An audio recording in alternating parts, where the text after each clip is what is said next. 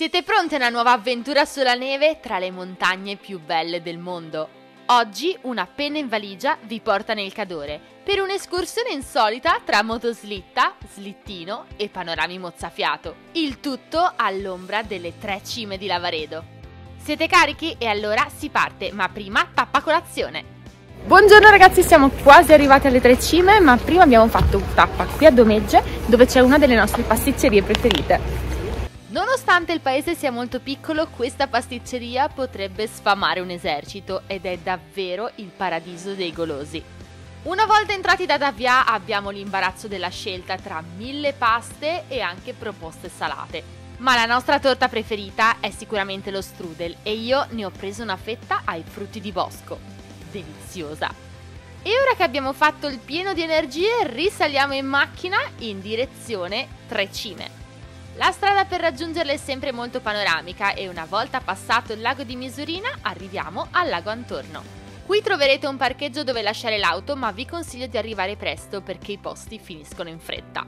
E non sto parlando solo dei parcheggi ma anche della biglietteria perché l'escursione è prenotabile soltanto sul posto. Ma anche se troverete un po' d'attesa non preoccupatevi perché davanti a voi avrete questo splendido panorama.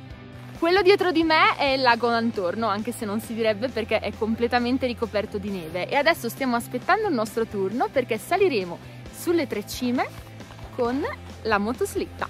Ecco il nostro mezzo che sta arrivando a prenderci e poi si parte. Potrete scegliere se accomodarvi sulla maxi slitta e lasciarvi trainare oppure sedervi direttamente sul sedile del passeggero. Io ho voluto provare la vera emozione della motoslitta e vi posso assicurare che è davvero divertente. E poi il sedile è riscaldato. Il viaggio durerà circa un quarto d'ora e avete la possibilità di ammirare panorami mozzafiato sfrecciando tra metri di neve e boschi innevati. E una volta all'arrivo ci viene fornito uno slittino a testa.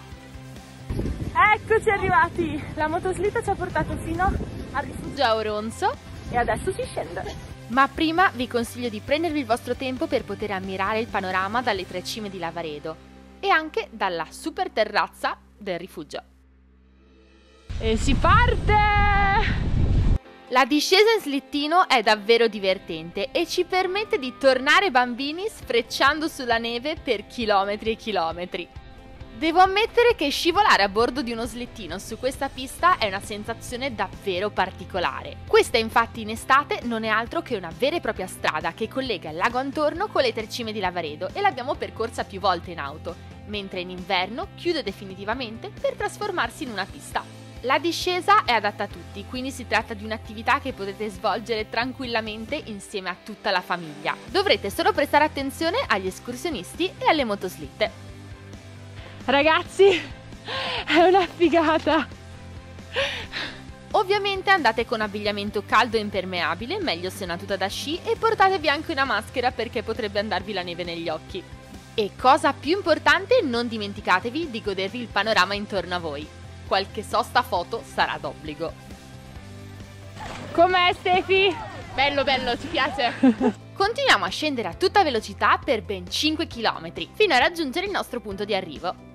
Ed eccoci arrivati alla malga, adesso la raggiungiamo.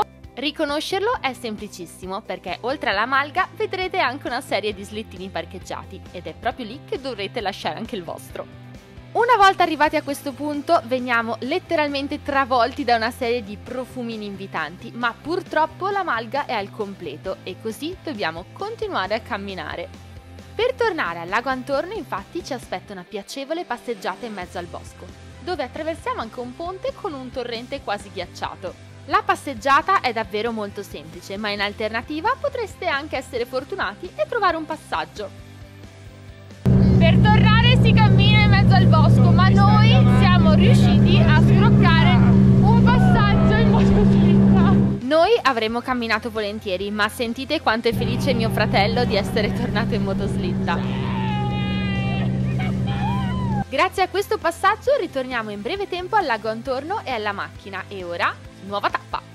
Per concludere la giornata infatti ci spostiamo verso il vicino lago di Misurina, che in inverno si presenta totalmente innevato e anzi ci si può addirittura camminare sopra. Intorno al lago troverete diversi ristoranti e infatti ci fermiamo proprio in uno di questi per ricaricare le energie con una pausa pranzo. Infine, se viaggiate in famiglia troverete anche un bel parco giochi per bambini. Se ti è piaciuto questo video lasciami un like e iscriviti al canale per scoprire nuove destinazioni di viaggio.